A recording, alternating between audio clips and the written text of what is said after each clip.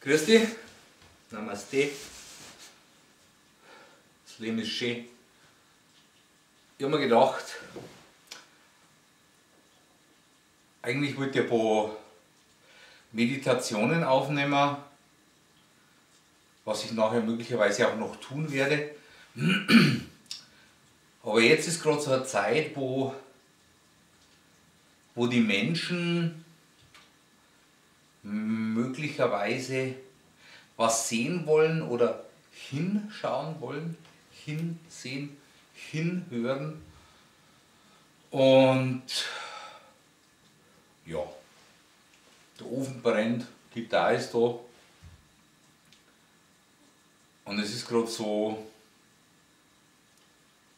ja, als würde mir irgendjemand sagen, Manfred, sprich in eine Kamera. Hm, witzig. Habe jetzt ganz lange nicht mehr gemacht. Zumindest nicht so. Also in diese Kamera. Diese Kamera wurde mir geschenkt zum Hochzeitstag von meinem Trauzeugen. So irgendwie, als sollte ich einen Teil von meinem Leben dort abbilden. Ich bekomme derzeit unglaublich viele Dinge geschenkt. Bücher, die jahrelang rumliegen, unverstanden und ich schlage die auf und da ist meine Stammesrune drin. Ich schlage die auf und es sind, sind 400 Seiten und ich schlage meine Stammesrune auf. Und dann lese ich etwas oder ich erfahre etwas. Dann äh, kommen Menschen, bringen mir irgendwelche Informationen vorbei. Ich nehme sie auf. Sie sind erlöst von dieser Information und für mich geht ein neues Tor auf und damit kann ich wieder anderen Tore aufmachen. Also es ist derzeit eine hm, ja, wunderbare Zeit der Toröffnungen. Es ist enorm spannend und, und gleichzeitig auch entspannend und erlösend, wie viele Tore was aufgängen. Und ja, wie, wie auf einmal das fließen darf, was bei mir jetzt da so fließt. Einfach, dass man das tut, was man will. Ohne zu fragen. Und dann merkt man plötzlich, dass das ja auch niemanden beeinträchtigt in seiner Freiheit zu tun, was er will, ohne zu fragen. Und da glaube ich, haben wir einen ganz wichtigen Aspekt an einem gewissen Punkt angelangt, der seit ja, 28.01. seit der Freeman-Sendung so richtig Furore macht. Was bedeutet Freiheit? Wir werden jetzt, ob wir es wollen oder nicht, alle miteinander befreit von Befehlen, Beziehungen, Bekenntnissen und alles, was so be, was wir so bekommen haben. Was so durch das Bekommen zu uns gekommen ist. Was bei uns Gedanken, Gewissen und ähnliche Dinge gemacht hat. Ja, und ich denke jetzt mal, ein Großteil der Bevölkerung wird wie immer einfach nicht wahrnehmen oder nicht erkennen, was geschieht. Aber ein immer größer werdender Anteil der Menschen nimmt daran Anteil, weil er, sie ein Teil davon ist. Anteil zu nehmen an einer Geschichte, die da einfach Erlösung nennen. Es ist ganz interessant, dass wir aus dem sogenannten Kali Yuga, aus dem dunklen Zeitalter 2012, Ende 2012 rausgeschwappt sind und die Menschen haben immer darauf gewartet, dass da irgendwie drei Tage Dunkelheit kommen und sie haben gar nicht mitgekriegt, dass da drei Tage Dunkelheit waren. aber halt einfach in einem anderen Frequenzbereich, als das unser Auge gesehen hätte, dass es dunkel ist. Ich meine, unser Ohr hört ja auch nicht, wenn man beim Equalizer zwei Frequenzbänder rausnimmt, zum Beispiel was weiß ich, 125 Hertz und 12.500 Hertz, das nehmen wir raus. Äh, wenn ich das aus meiner Stimme rausnehme mit einem Equalizer, hören die wenigsten einen Unterschied. Und so wurden auch gewisse Frequenzbänder in die Dunkelheit geschickt und die drei Tage Dunkelheit haben wir seit 2012 mindestens viermal, gefühlt siebenmal erlebt. Und die Leute warten immer nur auf die drei Tage Dunkelheit. Die sind vorbei, Leute, die drei Tage Dunkelheit haben wir schon lang erlebt und wenn du sie erleben willst, dann leg die drei Tage hier und schlaf. Dann hast du auch drei Tage Dunkelheit. Zieh die Vorhänge zu. Es kommt nicht das, was wir apokalyptisch prophezeit äh, gesehen haben oder geglaubt haben, sehen zu müssen. Das wird nicht kommen. Das ist schon vorbei. Und jetzt gibt es natürlich viele Menschen, die dann sagen, oh Scheiße, naja, als wenn die Welt nicht untergeht, weil es schon untergegangen ist oder aufgegangen ist, was tue ich denn dann? Und dann stürmen sie in die nächste Synagoge und schauen, wer dort gerade was predigt. Und der predigt dann was gegen Chemtrails. Und dann sagen sie, oh, das kenne ich schon, die Chemtrails, na, ist nicht meins. Dann gehen sie in die nächste Synagoge und da ist der nächste Heilsprediger und der predigt, ähm, wir haben ein System, das muss so und so und so ausschauen. Zum Beispiel ein, ein Tauschkreis, ein Schenkkreis. Aber natürlich nur die, die sich in diesem Kreise was schenken. Die anderen Schenkkreise sind nicht unsere Schenkkreis, Freunde. Das ist Schwachsinn. Das ist so wie Religioten. Es sind die nach wie vor wieder die gleichen Religioten unterwegs wie vor 2000 Jahren. Irgendwelche Pharisäer, die irgendwas predigen und irgendwas tun. Und es gibt ein paar, eine Handvoll Leute, die sind da. Und wer sie fühlen kann, der weiß auch, wer sie sind. Und diese Handvoll Leute, die wollen gar nichts. Die sind bedingungslos. Und sagen einfach, sei der oder das oder die, der du bist, aber nur wenn du es willst. Die meisten Menschen, die jetzt zum Beispiel, weiß jetzt nicht, zu einer gewissen Sorte von Therapeuten, Therapie heißt ja nichts anderes wie Begleitung, zu einer gewissen Sorte von Therapeuten kommen, die wollen antworten. Und ich antworte ihnen. Ähm, es gibt Menschen, die so lange fragen, bis der, der antwortet, vermeintlich keine Antwort mehr hat und dann glauben sie, in ihrem Zweifel Sieger zu sein. Das, sind, das sind sogenannte hm, Therapie-Hop, Island-Hopping. Es gibt so Island-Hopping, es gibt so Glaubensmuster-Hopping. Ähm, das ist völlig in Ordnung. Um das geht es nicht.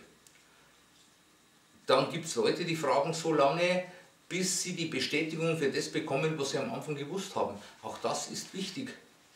Du darfst dich gerne wieder dort einfinden, wo du irgendwann mal den Ausgangspunkt hattest.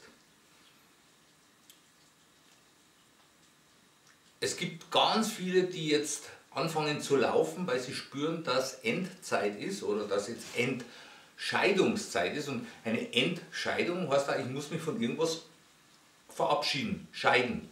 So, die Entscheidung heißt bei der Geburt, Gebo Urat, dass ich durch die Scheide am Ende meines ähm, pränatalen Daseins jetzt endlich, endlicht, mein Licht am Ende in die Welt bringe.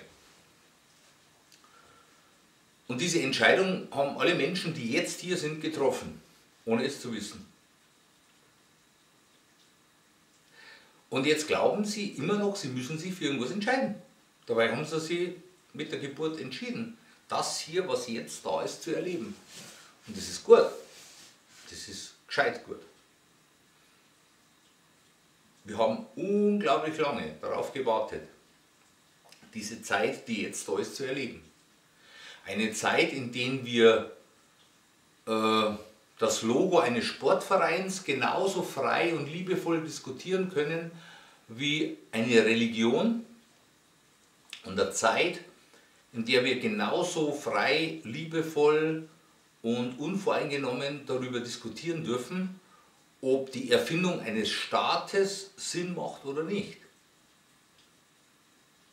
Ich kann mir doch entscheiden, ob ich als Fußballer ein Trikot anziehe oder ob ich als Polizist eine Uniform anziehe oder ob ich als FKK-Urlauber alles ausziehe. Das ist doch nicht so tragisch. Für einen Teil der Menschen ist es aber offenbar immer noch sehr, sehr, sehr, sehr, sehr gefährlich. Wobei im gefährlich ja das ehrlich drinsteckt. Sehr gefährlich, nur darüber nachzudenken, dass es so etwas wie einen Staat möglicherweise gar nicht geben könnte. Nur die Idee, darüber nachzudenken oder darüber zu sinnieren, bringt sie so nahe an einen Schmerz, an eine herzverkrampfende, atemraubende Situation, die wahrscheinlich ihre Ahnen irgendwann mal erlebt haben und sie immer noch in sich tragen, ohne dass sie erlöst ist, dass sie sagen, na, na, gar nicht, na, na. Und ja, freilich, kann man denn da hin? Also, du bist schon da. Da braucht man nirgends mehr wohin kommen. Wir sind genau dorthin gekommen, wo wir sein sollten. Wir sind jetzt im Paradies wieder angelangt. Und angelangt, Angela, angelangt, also geerdet durch die Angela sind wir wieder im Paradies. Das heißt, ich erkläre es dir jetzt. Alle Syrianer, die Assyrer, Syria, Syria, Swaha, also alles, was mit Syrien zu tun hat, dem Sonnenland, alle Syrier sind deshalb zu uns gekommen, möglicherweise weil sie der Amerikaner bezahlt hat, das spielt aber keine Rolle, um uns Menschlichkeit abzugewinnen, um uns vom Krieg traumatisierten in der dritten Generation immer noch die Schuld des Holocaust tragen, den endlich davon zu befreien, dass wir immer noch diese alte Geschichte, wie sie war, ist völlig wurscht, mit uns rumtragen. Und darum hat das Ganze auch begonnen in Lampedusa, am, am, südlichsten Zipfel von Sizilien, da unten Malta, Italien, weil Mussolini war der Dritte im Bunde der gleich gesagt hat, hey, Trio Infernal, wir machen einen Weltkrieg und ein Weltreich. Der erste, oder beziehungsweise der zweite im Bunde neben Adolf war der damalige österreichische Oberhäuptling, die gesagt haben, hey, die Deutschen gehen jetzt Weltreich bauen, da machen wir doch mit, geht doch vorne den Österreicher weg. Und dann ursprünglich natürlich von Deutschland ausgehend diese Geschichte, die heute gerade umgebaut wird. Das heißt, von Deutschland aus ging die Idee, und die war sicher nicht alleine die Idee vom Aha, Aha, ähm, wir bauen ein neues Weltreich, ähnlich wie Julius Caesar ein Reich bauen wollte. Die kamen dann nach Österreich und haben gesagt, yes, we are with you, wir sind dabei die Italiener auch. Jetzt wenn wir uns die Flüchtlinge anschauen, die kommen in Süditalien an, werden durchgeschleust. Österreich ist ein Durchgangsland und sie wollen alle nach Deutschland, bis sie dort merken, eha, da finde ich das gar nicht, was ich wollte. Man hat mir ein Auto versprochen, ein Haus, einen Haufen Geld. Ich habe mein ganzes Geld, das ich noch hatte, zusammengekratzt, um hierher zu kommen und siehe da. Hm die haben uns verarscht. Die zu Hause in Syrien. Oder die, die uns hierher geschickt haben. Puh, was machen wir jetzt? Wir gehen nach Finnland. Wir gehen Richtung Norden. Und Finnland, Finn, Finale, Finn, am jedem Filmende steht Finn. Fliegen wir wieder heim. Ob die jetzt zu Hause denen, die sie verarscht haben, aufs Maul hauen oder nicht, das ist ja nicht mehr unser Problem, sondern es geht darum zu erkennen, was da eigentlich für Film läuft. Und der Film heißt Erlösung. Und zwischen Italien und Deutschland liegt Erlösterreich. Und genau deswegen sind wir da. Und wenn du immer noch diesen Film anschaust, den ich da jetzt einfach in die Kamera quake, hm, dann könnte es sein, dass du mit dieser ganzen Erlösung und vorherigen Unerlöstheit in Resonanz bist. Und wenn die das, was ich sage, nicht aufregt, sondern eher anregt, dann war es schön, wenn wir uns kennenlernen. Weil es einfach wichtig ist, dass die, diejenigen, die das vor langer, langer, langer, langer Zeit eingefädelt haben, und das ist sicher nicht der Erste Weltkrieg, das waren sicher nicht die Franzosen, das war auch nicht, äh, was weiß ich, die Kreuzigung Jesu Christi, die so gar nicht stattgefunden hat, das, war nicht, das waren auch nicht die Kabbalisten, sondern das, das waren wir alle. Wir alle, wie wir jetzt hier sind, haben das einst eingefädelt. Dann haben wir uns gegenseitig vergessen, bekämpft und gefürchtet. Und jetzt lernen wir uns wieder berühren, wahrnehmen, als gar nicht so schlimm zu sehen.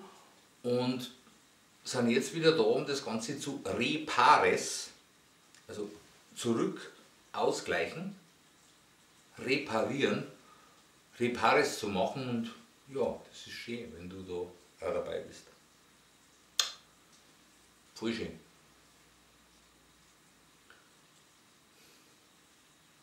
Ich weiß jetzt auch gar nicht, wer durch mich mit dir da sprechen will oder wollte.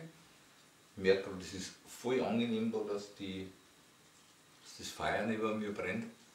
Und ich spüre jetzt, dass wir so drei bis fünf Minuten vor dem Zeitfenster für Agnihotra sind, nachdem ich jeden Morgen und jeden Abend diese vier Minuten dieses Urfeuer, dieses vedische Feuer entzünde, mache ich das jetzt dann auch und sage dabei einmal Tschüss. Namaste und ja, ich habe so richtig Lust halt. Mit dir zum Reden. Also bis nachher. Ciao dabei.